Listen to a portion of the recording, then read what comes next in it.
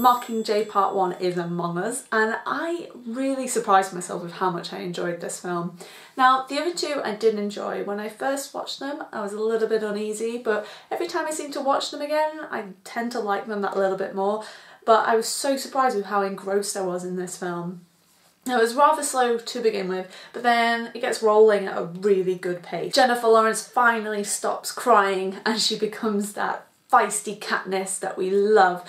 So to me, Jennifer Lawrence is what makes these films. She is just beautiful, she commands the screen, and she just does a powerful performance. I, I, genuinely believe without her, these films really wouldn't be all that. But there's also a bit of a negative to that because, oh, those poor boys, Josh Hutcherson and Liam Hemsworth, her acting really makes them look like trees before they were carved into puppets. A really charming performance by Elizabeth Banks as Effie Trinket. It was a real shame that she didn't have more screen time because she really did light the screen up for me when she was on it and she had some wonderful dialogue and just the way she looks at Katniss just kind of just brings warmth to my heart. She's just a really excellent character. Um, unfortunately was very underused in this film.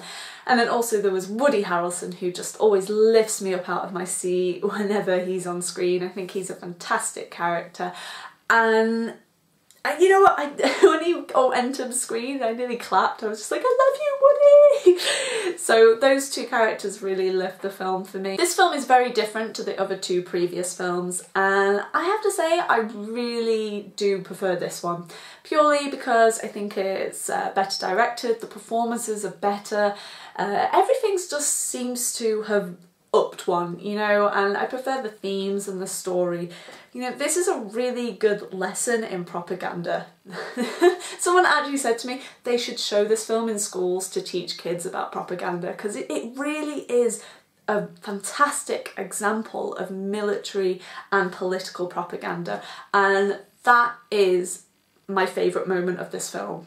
The concentration of propaganda. By this point I'd really grown to like the characters and I think that's what engrossed me in this film so much. It was less action, more talk and it's more about the actions that they're going to take. So it just became engrossing and it was a lot more suspense in this film. It was very, very tense in some moments and I really did like that about this film. And what was great was it didn't feel like a chore to watch being at two hours long compared to the other films that are about a week long. it really was refreshing to just sit there and know that it was two hours long and it flew by, absolutely flew by. What is a shame is I just don't want to have to wait so long for the next film because I generally think this excitement and enjoyment that I had from the film is just gonna ooze on out of me. Do, do, do, do, do. that sounded more like Close Encounters of the Third Kind.